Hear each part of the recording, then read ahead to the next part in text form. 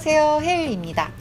오늘은 커버력 좋은 쿠션과 예쁜 아이섀도우들 그리고 피팅감 좋은 립스틱으로 가을 메이크업을 해볼 거예요. 그럼 시작, 시작, 시작하겠습니다.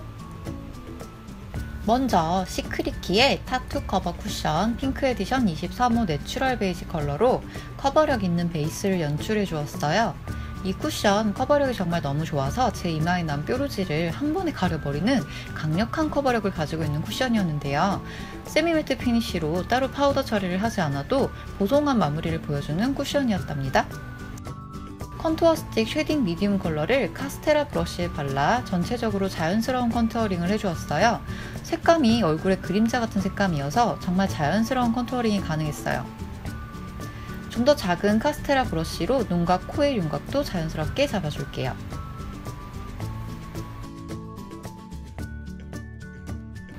초코 smudge eyebrow 밀크 초코 컬러로 먼저 brow의 색감을 잡아준 뒤 fitting forever single shadow 밀크 초콜릿 컬러로 눈썹을 그려주었어요. 그런 다음 brow 마스카라로 다시 한번 brow의 결을 잡아주었답니다. 눈가의 음영을 좀 더 주기 위해 single shadow 메모리 컬러를 눈두덩 전체에 넓게 발라주었어요. under까지 연결감 있게 발라주어 음영이 어색하지 않도록 해주었습니다. 눈가에 생기를 불어넣기 위해 peach cream 컬러를 아까 발랐던 음영 컬러와 잘 blending 되도록 하여 넓게 발라주세요.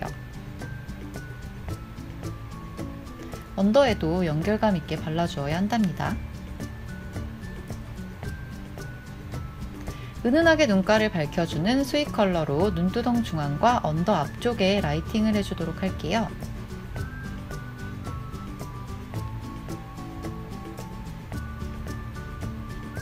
아까 발랐던 peach cream을 눈꼬리, 앞꼬리, under에 좀 더 진하게 발라주세요. 눈가에 좀 더 깊은 음영을 주기 위해 밀크 초콜릿 컬러를 눈 뒷꼬리부터 넓게 그라데이션하며 발라줄게요. 눈매가 좀 더 시원해 보일 수 있도록 눈 앞머리 쪽도 발라주세요. twinkle waterproof gel pencil liner real black으로 점막을 꼼꼼히 채워주고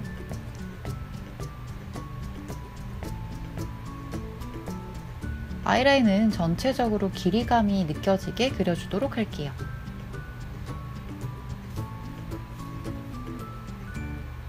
방금 그린 라인이 너무 강해 보이지 않도록 브라우니 컬러를 라인 위에 올려 blending 해주세요.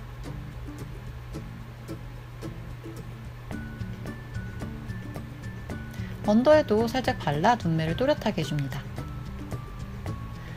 pencil liner beige shine color로 under의 삼각존만 채워주도록 할게요.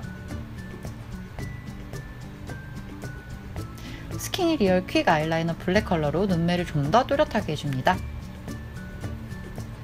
눈가의 음영 컬러를 한 번 더 발라 좀 더 깊은 눈매가 될 수 있도록 해주었어요.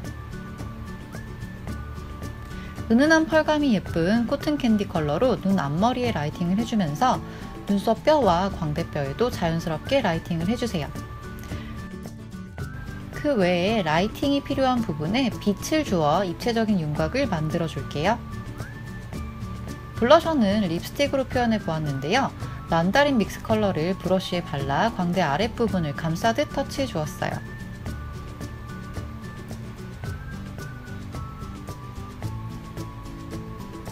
하이라이팅 소프트 빔으로 한 번 더 빛을 주어 윤곽을 마무리해 주었습니다.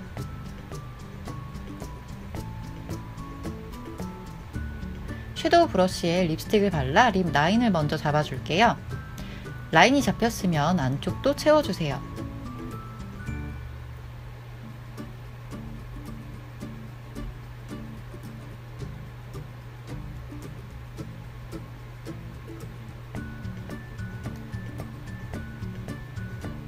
그런 다음 예쁜 레드 컬러인 레드 안개꽃을 lip 안쪽부터 물들이듯 그라데이션하며 발라줍니다.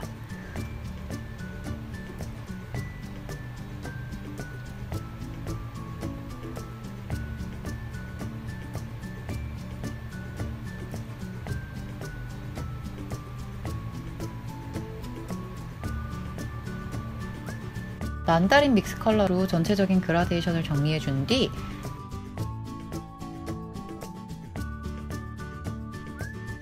입술 산을 밝혀주면 메이크업 완성!